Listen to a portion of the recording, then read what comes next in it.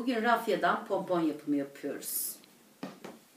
Bir sehpaya bağlıyoruz ucunu.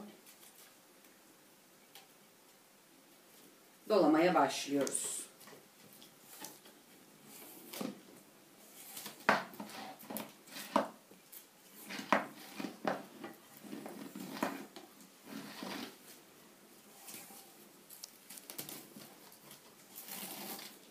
Tam ortasından düğüm atıyoruz.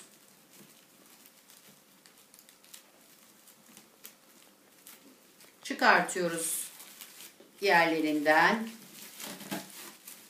Bu şekilde. Uçlarını keseceğiz. Hazır bir bize pompon olacak. Hemen uçlarını da kesiyoruz. Bulduğumuz uçlardan kesiyoruz.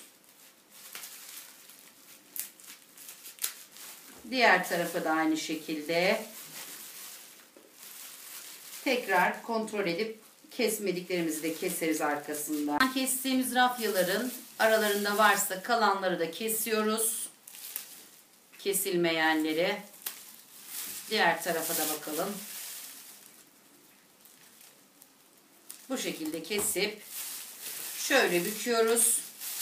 Arzu edersek uçlarını bir bıçak yardımıyla bu şekilde kıvırabiliriz. İsteğe göre kullanabiliriz.